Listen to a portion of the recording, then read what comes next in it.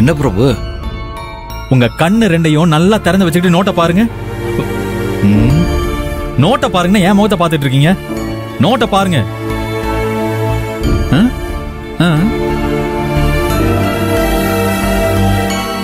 கல்யாணத்துக்கு நான் மொத்தமா போட்டு வச்சிருந்த பட்ஜெட்டே ரெண்டு லட்சம் ரூபா தான். ஆனா இப்பவே ஒன்பது லட்சம் ரூபாய்க்கு மேல ஆயிடுச்சு. எவ்வளவு? ஒன்பது லட்சத்துக்கும் மேல. இதோட முடிஞ்சதா? இல்லையே. இன்னும் என்னென்ன செலவு வரப்போதோ தெரியல. கண்ண முன்னா கல்யாணத்தை நினைச்சு சந்தோஷமா ஒரு ஞாபகம் கூட வர மாட்டேங்குது செலவு கணக்கு தான் மாறி மாறி வந்துகிட்டு இருக்கு. இல்ல நான் தெரியாம தான் கேக்குறேன். உங்க ஃப்ரெண்ட் இதெல்லாம் யதார்த்தமா தான் பண்றாரா? இல்ல ஏதாவது திட்டம் போட்டு தான் பண்ணிட்டு இருக்காரா எனக்கு ஒண்ணுமே புரியலப்பா. அவர் பண்றதும் நடந்துக்கிறதும் எனக்கு அப்படியே டென்ஷன் ஆயிட்டு இருக்கு. ஆனா ஆதரிக்காக பல்ல கடிச்சுக்கிட்டு நான் பொறுமையா இருக்கேன்.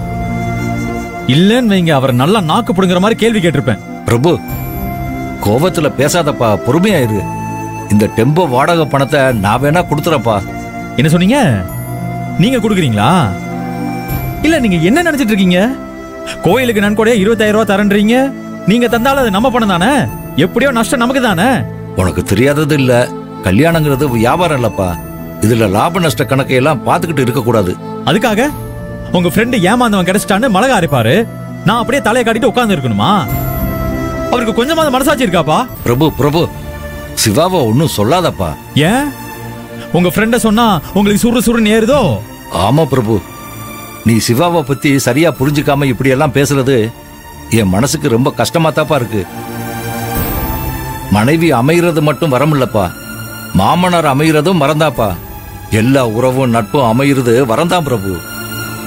ஆதரே உனக்கு பொண்டாட்டிய கிடைக்க நீ எவ்வளவு கொடுத்து வச்சிருக்கியோ அதை விட ஆயிரம் மடங்கு சிவா உனக்கு மாமனார் அமைய நீ கொடுத்து வச்சிருக்கணும். நீ நினைக்கிற மாதிரி சிவா ஒன்றும் செலவாளி இல்லப்பா பாசக்காரன். தன்னை சுத்தி இருக்கிற யாரும் கஷ்டப்படக்கூடாதுன்னு நினைக்கிறவன். சின்ன வயசுல நான் கஷ்டப்பட்டப்போ அவன் சிங்கப்பூர்ல இருந்து எனக்கு எத்தனை தடவை பணம் அனுப்பியிருக்கான் தெரியுமா? அதையெல்லாம் இப்படி ஒரு நோட்டை போட்டு செலவு கணக்கில் எழுதி வைக்கலப்பா. நான் தான் அதை என் மனசுக்குள்ள நட்பு கணக்கா வரவுல எழுதி வச்சேன். நாம கீழே விழுந்து கிடக்கிறப்ப சில நேரத்துல நம்ம சொந்தக்காரங்க கூட நம்மளை கை விட்டுருவாங்க ஆனா நல்ல நண்பர்கள் கைவிடவே மாட்டாங்க. அப்படித்தான் சிவப்பிரகாசமும். என்ன கைவிட்டதே இல்ல. அவனுடைய நட்புக்கு முன்னாடி நான் பணத்தை பெருசாவே நினைக்கிறது இல்ல அவனோட உறவுக்கு முன்னாடி நீயும் பணத்தை பெருசா நினைக்காத. அப்பா என்னோட பென்ஷன் பணம் இருக்கு. அதை எடுத்துட்டு வந்து நான் தர்றேன். கொஞ்சம் இரு. அப்பா இருங்க. அதெல்லாம் ஒண்ணும் வேணாம். ஆனா ஒண்ணு இந்த டெம்போ செலவு தான் தேவையில்லாத கடைசி செலவா இருக்கணும். இதுக்கப்புறம் என் வருங்கால மாமனார் ஏதாவது செலவை இழுத்து விட்டாரு. இதே மாதிரி ஒரு டெம்போ வச்சு அவரை கடத்திட்டு போக சொல்லிடுவேன் பிரபு. என்ன பாக்குறீங்க போங்க. ஆ.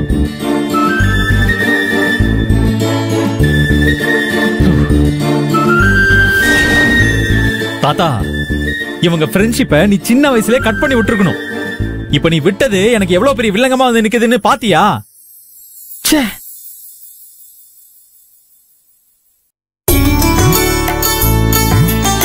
ஆ இதெல்லாம் முதல்ல அடுக்கு. எழுதியாச்சா? எழுதிட்டேன். அடுத்து வந்து அதுல சுபாஷினின்னு பேர் எழுது. ம். ஆ ஜெகா இந்தா. சரி அடுத்து. என் ஃப்ரெண்டுக்கும் சேர்த்து எழுதுறேங்க்கா அம்மா வாங்கி கௌரின்னு எழுதுமா. கௌரியா? அக்கா அவன் பேரு கௌரி சங்கர்க்கா நாங்க சாட்டா கொஞ்சம் கௌரின்னு கூப்பிடுவோம். வாங்கி எழுதுமா. சரி இந்தா எழுது.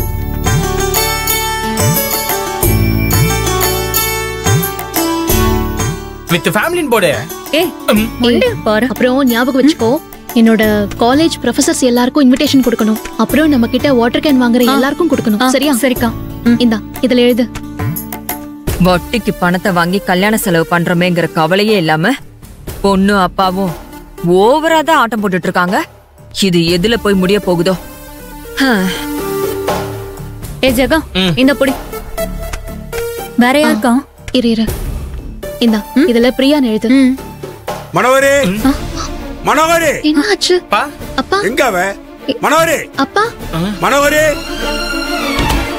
ஏய் மனோகரே. மனோகரே! அப்பா அப்பா மனோகரே! அப்பா இரு என்ன. ஆச்சு? விடுமாம அப்பா. எங்க அவ? இருங்க. வாடி வெளியே. அப்பா, என்னப்பா ஆச்சு? ஏன் இப்படி கத்துறீங்க? என்னங்க? ஏன் இப்படி கத்திட்டு இருக்கீங்க? கத்துக்கிட்டு இருக்கடா. நீ பண்ணி வச்சிருக்கிற வேலைக்கு உன் கழுத்தை பிடிச்சு கொலை பண்ணிடுவேன். இருங்கப்பா கோவப்படாதீங்கப்பா இருங்கப்பா. அமைதியா இருங்க. ஆமாப்பா.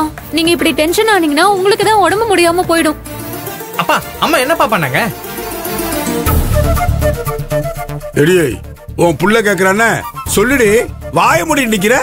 நான் என்னங்க சொல்லணும்? எனக்கு ஒண்ணும் தெரியாது. நான் ஒண்ணும் பண்ணல. நீங்க தான் வந்தது வராததுமா? வெறி பிடிச்ச மாதிரி பாஞ்சிட்டு இருக்கீங்க. நீங்களே சொல்லுங்க நான் என்ன பண்ணேன்னு. ஏய் தில்லைகிட்ட என்னடி சொன்ன? அப்பா அப்பா இருங்கப்பா. ஏய் இப்ப சொல்ல போறியா இல்லையா நீ அப்பா அப்பா இருங்கப்பா. இருங்கப்பா. அம்மா மாமா கிட்ட என்னப்பா சொன்னாங்க? நம்மள வாழ வைக்க கூடாதுன்னு முடிவு பண்ணிட்டாமா இவ? நம்ம ரெண்டு பேரையும் ஒழிச்சு கட்டணும் தீர்மானத்தோட அலையறா இவ அப்பா. அதனாலதான் தில்லைகிட்ட போய் அப்படி சொல்லிட்டு வந்திருக்கா பா மாமா கிட்ட அம்மா என்ன சொல்லிருந்தாலும் பரவாயில்லப்பா. அதுக்காக நீங்க இப்படி கோவப்படலாமா? மடி கோவப்படாதன்னு சொல்றீல்ல? இவன் என்ன சொன்னா தெரியுமா?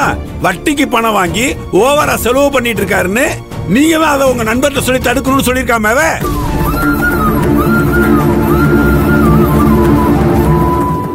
இங்க பாருங்க. இந்த மாதிரி நாக்கில் நரம்பு இல்லாம பழியெல்லாம் போடக்கூடாது. நான் ஒண்ணு தில்லை அண்ணன் கிட்ட அப்படிலாம் சொல்லவே இல்ல. வேற எப்படி சொன்ன? எப்படி சொன்ன? ஆ? கல்யாண செலவெல்லாம் அதிகமாகுது. கொஞ்சம் பார்த்து செலவு பண்ண சொல்லுங்கன்னு மட்டும்தான் சொன்னேன். பொய் சொல்லாத. தில்லைகிட்ட சொல்ல வேண்டிய எல்லாத்தையும் சொல்லிவிட்டு இப்ப மழுப்பிக்கிட்டு இருக்கியா நீ? நான் ஒண்ணு மழுப்பலங்க. சொன்னா சொன்னேன்னு சொல்லிட்டு போறேன். எனக்கு என்ன பயம்? ஆ, அதான். பயம் எல்லாம் மனசாட்சி இருக்கிறவங்களுக்கு தான் வரும். நீ ஏன் பயப்பட போற? அப்பா பாப்பா இருங்கப்பா. அம்மா தான் அப்படி சொல்லலன்னு சொல்றாங்கல்ல. அது அத்தோட விட்டுருங்களேன் அம்மாடி நீ விடு. உனக்கு ஒன்றும் புரியல. நீ விடு. நம்ம வட்டிக்கு பணம் வாங்கினது யாருக்கெல்லாம் தெரியும்? உனக்கு எனக்கு மயிலுக்கு இவளுக்கு மட்டும்தானே தெரியும்? நம்ம நாலு பேருக்கு மட்டும்தானே தெரியும்? வேற யாருக்கும் தெரியாதுல்ல? நானோ நீயோ மயிலோ தில்லைகிட்ட இத பத்தி பேசவே இல்லை. அப்படின்னா அவனுக்கு எப்படி விஷயம் தெரியும்? இவ தானே சொல்லியிருக்கணும்.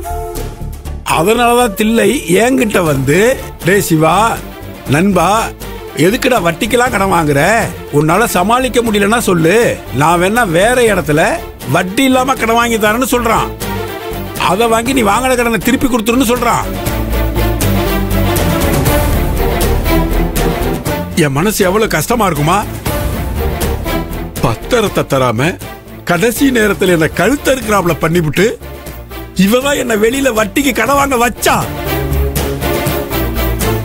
இப்ப இவனே தில்லைகிட்ட பெரிய குறையாவும் குத்தமாவும் மூட்டை கட்டி போய் சொல்லியிருக்காமா?